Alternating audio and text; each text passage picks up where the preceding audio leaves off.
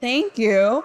So, welcome. I know it's like 5:30. You've had a long day. You've heard a lot of keynotes. So, we're going to make this quick, concise, give you what the low, you know, quick rundown and hopefully you guys can go, you know, have some fun dinners or enjoy some other talks and booths. So, you've seen a lot this week. Um, last two days about plan, develop, you know, operating, um, getting your app ready, you know, building it. But today we're going to mostly focus on how you operate in production. Um, in AI Foundry, we've, power, we've also partnered with Azure Monitor to deliver this experience, and that's how you're going to continuously improve your agents in production.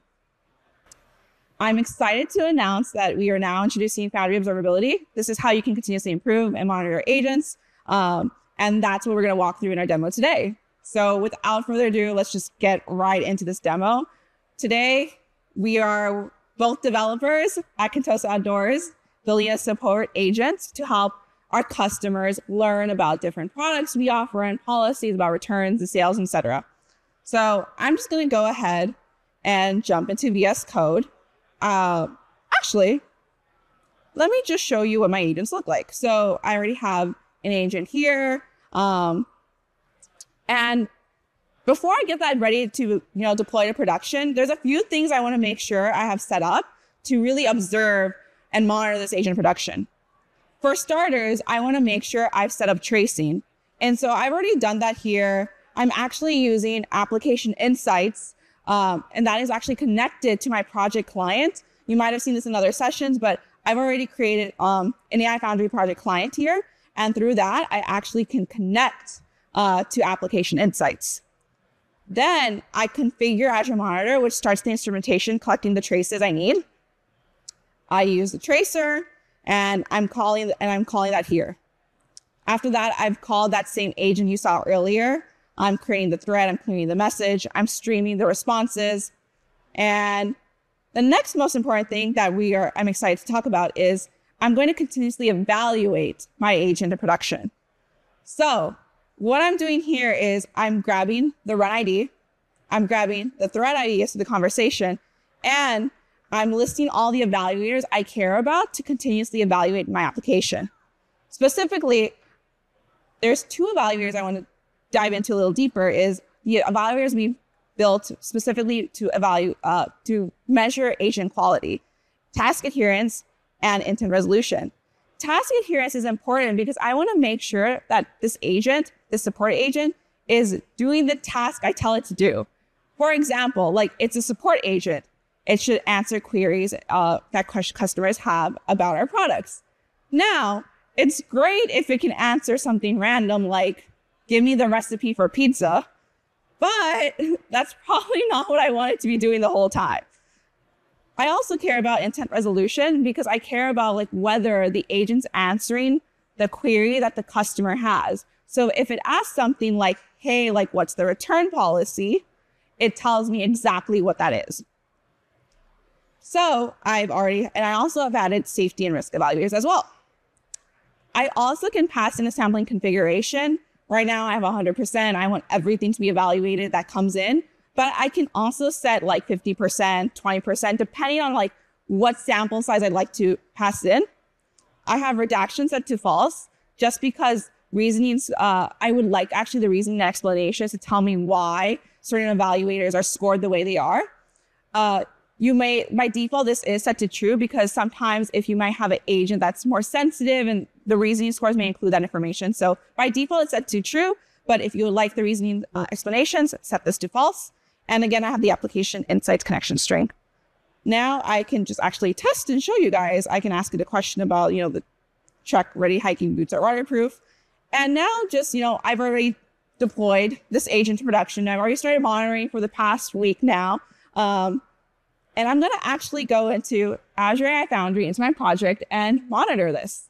So I can already see um, this is connected to that same application insights resource, this project and I see the total tokens, I see the inferencing calls, I start to see the average of my evaluation metrics for this past week.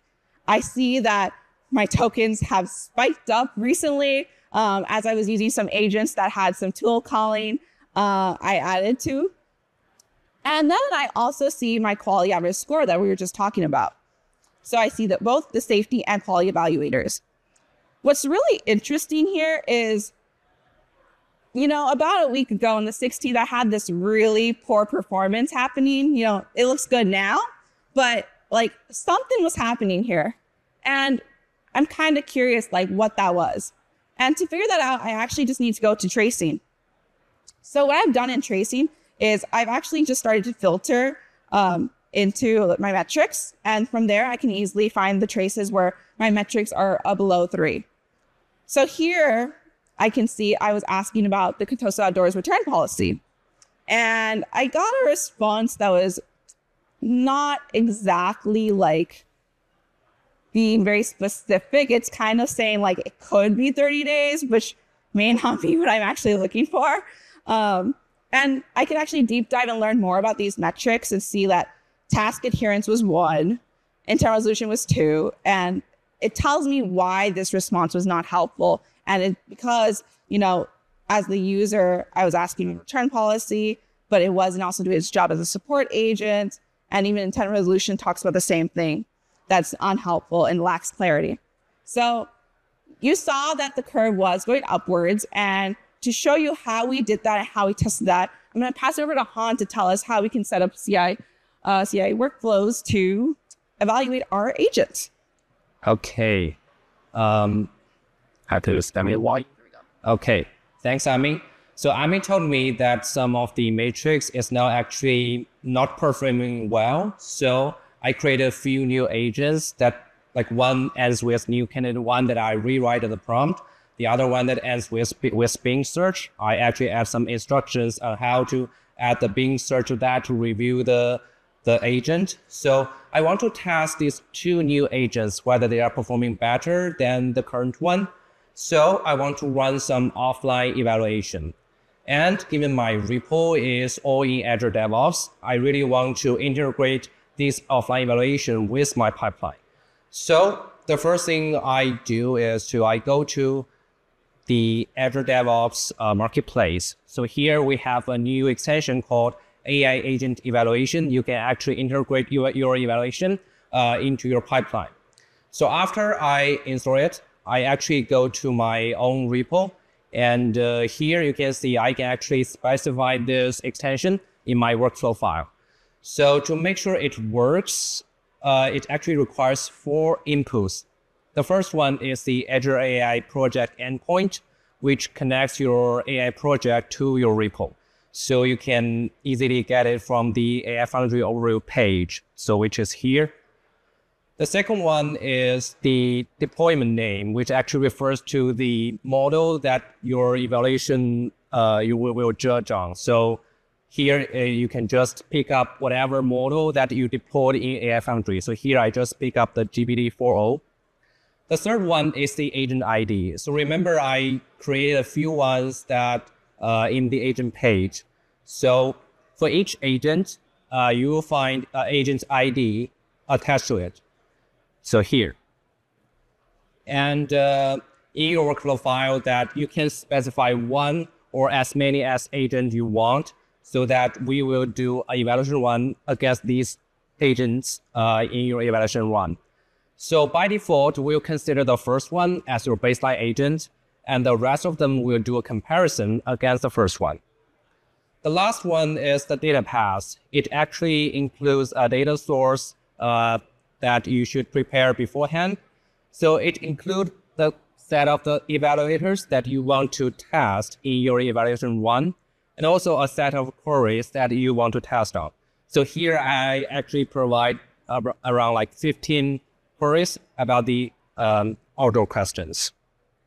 Okay, now everything is set. And uh, whenever you commit a change or create a PR, you can just set it up and it will just automatically trigger uh, evaluation run for it. So I'm going to the pipelines here. I'll trigger a manual run for it to show how it works. So make sure that select the branch that was your correct setup and uh, trigger run for it the job will soon uh, start to queue and soon start to run. So it usually takes about like 10 to 15 minutes for the processing, depending on uh, the data set volume and the number of agents you want to evaluate.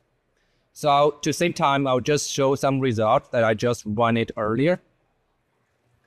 So here, once the job is done, uh, you will see a new tab called AI Agent Evaluation here. So this result includes two sections. The first section actually includes a summary of the agents you actually test. You can see the agent name here. We also provide the agent ID link that when you click on it, it will direct you to the agent page in AI Foundry. We also provide you the evaluation result for each agent here. So, and one thing to notice that if you want to see some individual result on each role or each query, um, this is the right place. So just give them one second to load. Okay. So you can see uh, the each result is shown like in Foundry, and the extension summary will only have like a summary of the overall scores. So this will be easier for you to debug or just to iterate your prompt. Okay, go back to the result. On the second section, it actually include a set of metrics that in your evaluation run. So the first section is the operational metrics, and this is actually provided, we provide as a out-of-box matrix. So, so you don't need to really set it up. We will automatically generate for you for your each evaluation run. So including latency and token counts you can consider them as some guardrail metrics when you evaluate your agent. The second part is the quality and safety matrix, uh, which you specify in your dataset that it shows you, okay, whether the new agent is performing better or not. So here, the other thing to notice is that we actually introduce statistic analysis into this, and we also provide some color code, which give you like much easier uh, sense on how to uh, judge it. So for example, for the light green, it means that it's, it has a like marginally statistic significant movement, and the dark green means it has a highly statistic movement. So it, you can just easily to identify which one actually has a better performance. Okay, so after rounds of iteration and evaluation runs, you might find, okay, this agent is more promising uh, then you, you want to use it in production. And uh, the next step is you can deploy that to production and continue to monitor the performance. And I will hand over back to Ami to show how we want to proceed once you deploy that to production. Okay, so like you saw this earlier. Now, Han, we like to deploy that, you know, new candidate agent of Bing search. And so that's what we're seeing here is like we had that problem. That first agent wasn't performing as great. We saw as soon as we deployed that new agent, it's going back up. You see intent resolution, relevance, task adherence, all the evaluators are shooting up. We do see some fluctuation. So maybe we want to start to look, investigate a little bit to see, make sure those scores stay above 4.5. So there is some room we can improve a little bit more, but it's performing much better than initially was. We also see that like some of the safety scores were like wobbling a bit, but now they've sort of, at least today, they've been zero, which is good. We want to make sure, you know, we're secure. Um, and with that, like as our scores have improved, we've also seen traffic and token consumption increase. So with that, like also what you can do with these views, as I mentioned very beginning, we've worked with Azure Monitor is you can also view this in Azure Monitor Application Insights. You can take that same view. This will open you up into that same in Application Insights. You can edit save, and then share with your team as you need to. You can also take queries directly from this view, open them up using Kusto Query, and then set Azure alerts. So we've made it very easy for you to integrate with the rest of the Azure ecosystem so you can continue to monitor and observe your application production. Um, with that, we're nearing the end of our time. It's a very quick demo, but I do want to plug that some of the stuff with you know, GitHub. We talked about ADO today. There's GitHub Actions as well for CI/CD. There's also the Azure Alerts flow that all will be shown in tomorrow's breakout session. The AI and agent observability in Azure AI Foundry and Azure Monitor. We also have other related great sessions throughout this week or I recorded that already existed. So we really encourage you to stop by. Also, go to our booth, Azure AI Foundry Observability, over there. Um, and thank you all. Thank you.